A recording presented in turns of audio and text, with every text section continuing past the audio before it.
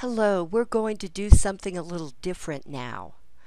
We're being given y, and we have to find the x's that go with that y.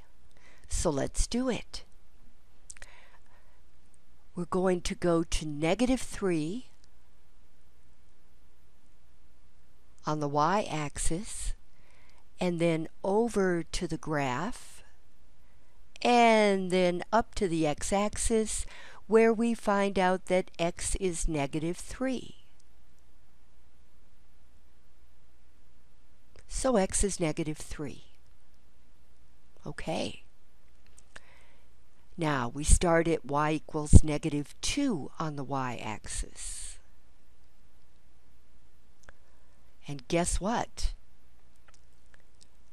There are two places on the graph where y equals negative 2.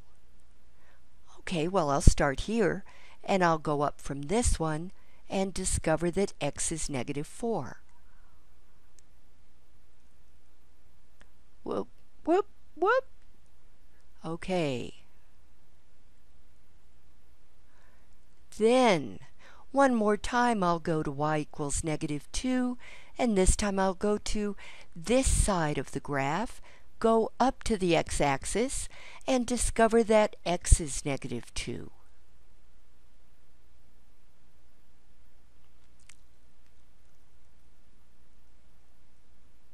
There. All right, now we're going to go to 2 on the y-axis. I'm going to go to the left first, where y is 2 go down to the graph and discover that x is negative 8. Darn. Keep forgetting to change.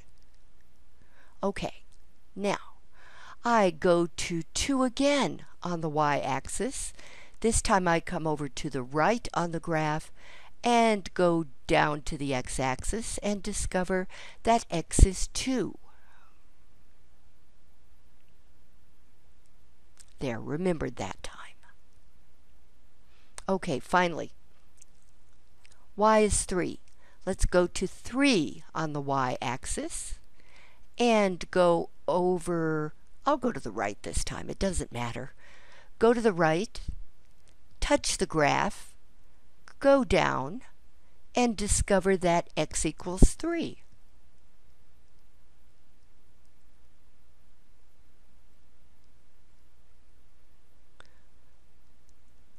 Then one more time I'll go to y equals 3. I'll go over to the left side of the graph, go down to the x-axis, and find that x equals negative 9.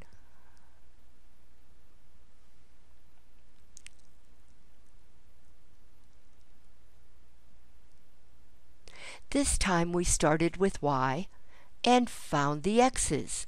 But we're still relating x to y and y to x. Talk to you next time.